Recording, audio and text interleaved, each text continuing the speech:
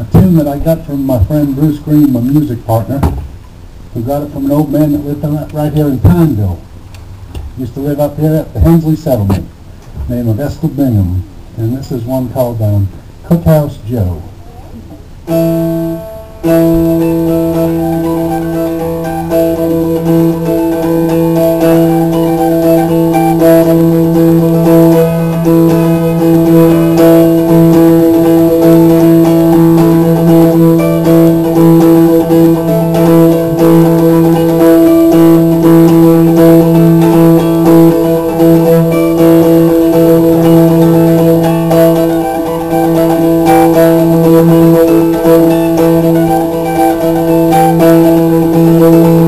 Thank you.